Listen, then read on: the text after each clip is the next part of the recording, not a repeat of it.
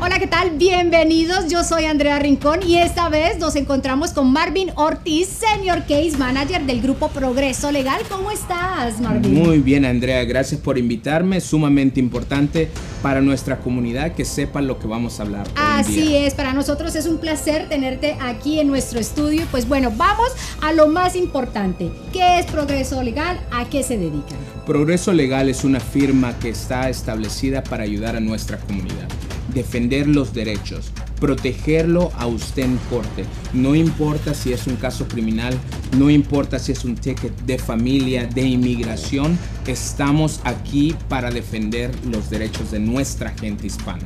Así es, eso es lo que básicamente todos queremos, todos los hispanos que nos defiendan, ¿no?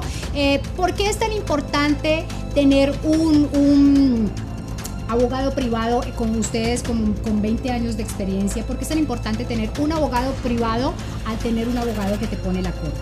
Bueno, no solamente que tengan a nosotros como abogado, que tengan la representación de nosotros, que tengan un abogado privado.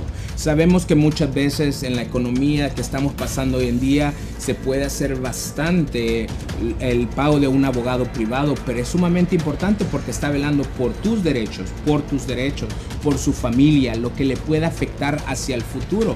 La corte dice que si usted es acusado, ya sea de un caso criminal, ya sea misdemeanor o una felonía, le va a afectar en su futuro, le va a afectar si usted no es ciudadano de los Estados Unidos. Conocemos de personas que después que han aceptado un cargo criminal, a los días llega inmigración por ellos.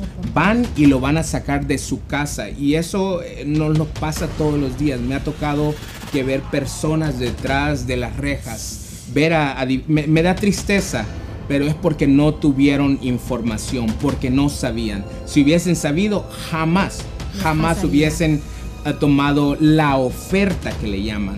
Hablando un poquito de estos casos tan desastrosos que nos dan tanta tristeza, ¿por qué es tan importante que nosotros los hispanos sepamos muy bien nuestros derechos?